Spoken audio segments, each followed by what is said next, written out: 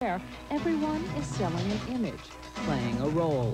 For the past 14 years, Brian Neal has been playing a role worthy of an Academy Award. For the past 14 years, Brian Neal was Natalia Gervais. I'm an actor, and I guess it was probably one of the greatest roles I've ever played in my life.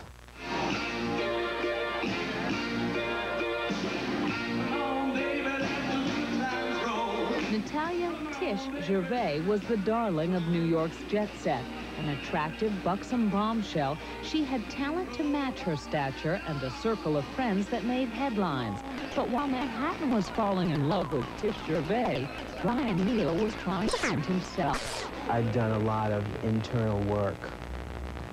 I've changed a lot of things, you know, no pun intended, but I've changed a lot of my inside.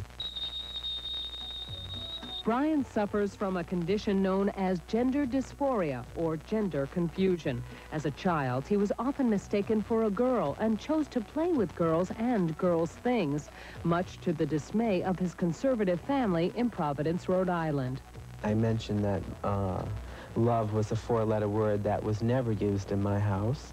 What I did get was a lot of negative images, a lot of negative uh, enforcement from my father, my mother, my brothers, my sister. You know, don't be a feminine, don't be a sissy, you know, fight, go out there and, uh, you know, don't, don't, don't.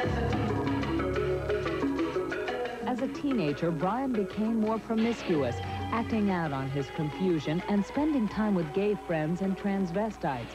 Faced with negative response from his parents and a lack of positive role models, his confusion grew. I mean, I tried to be gay when I was 18 years old, and I was first coming to New York, and I tried it. I really, and, and I tried it earlier. I tried it at a very early age uh, to see if that was it. And at that age, it just didn't seem right for me, because I still felt like I wanted to be beautiful. I wanted to be a woman.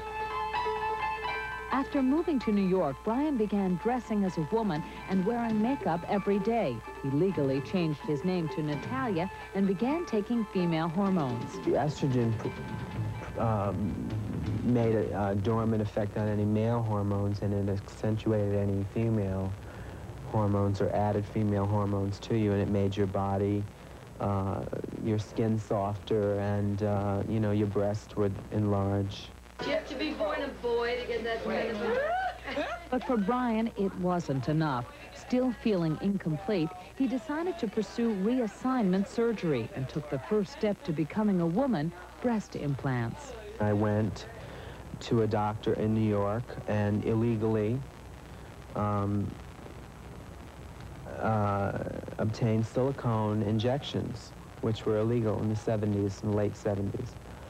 Um, and I had a lot of complications with them. I got uh, most of the silicone removed, and I was able to get um, implants from the same doctor, and it turned out very well.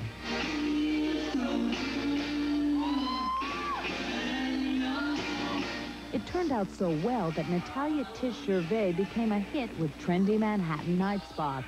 A singer and actress, she earned rave reviews and appeared in countless magazines as a member of the in crowd. Tish Gervais, a.k.a. Brian Neal, even got married to a member of the U.S. Army. We agreed that, you know, he'd help me save the money for the surgery, and and I married a man. I married him. Priest and everything. My mother, his mother, his family, my fam, a couple of members of my family. Failed and Brian returned to New York. He had yet to undergo the final surgery and lived in fear that someone would find out. But few people, not even the men he dated, had a clue. I've dated a lot of men. I've had lots of affairs with men and some celebrities. And I was so comfortable sometimes with what I had become that I would forget to tell them. So I would just go out with them and forget to tell them, you know. And then, you know, when it became intimate, of course, I would have to like, well, you know, this is a story, guys. And was, I was met with some very interesting reactions. Unfortunately, the most common reaction was rejection, and that, coupled with his own uncertainty about going through with the surgery, led him increasingly towards drugs and alcohol. Luckily, Brian, with the help of his true friends, survived. He sought out therapy at a clinic that specialized in sexual identity problems and, after much soul-searching, decided to integrate both the male and female aspects of his personality, but remain a male physically. He stopped taking hormones, had the implants removed, and got his drug and alcohol addiction under control.